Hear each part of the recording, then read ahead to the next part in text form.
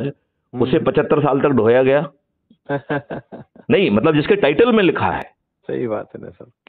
और लोगों ने ये कहा कि आर्टिकल 370 कैसे हटेगा मैं देखता हूँ। अरे साला जिसके संविधान के बनाने वालों ने उसमें टेम्पररी क्लॉज लिखा वो जो है परमानेंट कैसे हो सकता था?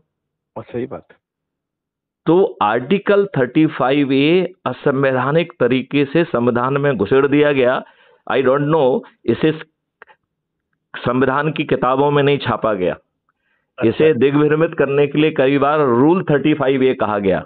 जब मैं सिविल सर्विसेज़ की एग्जामिनेशन दे रहा था उस समय मुझे कुछ कोई रूल 35 ए के नाम से हम इसे जानते थे तो कुछ इतने अंदर तो घुसे नहीं थे तो कभी मालूम ही नहीं था।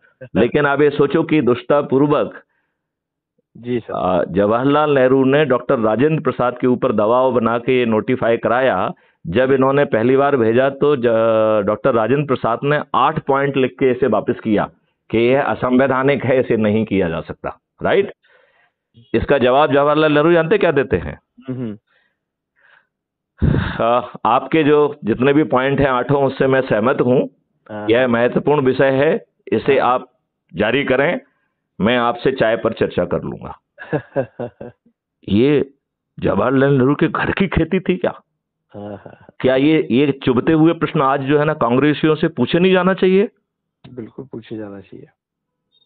तो हम विद्वान तो सब अपनी नौकरी कर रहे हैं अपने आप को स्वतंत्र मान रहे हैं और फिर दुष्टा पूर्वक जवाहरलाल नेहरू ने जो भी नियम कानून और व्यवस्था हम्म। अंग्रेज़ों ने भारतीयों को प्रताड़ित करने के लिए अपमानित करने के लिए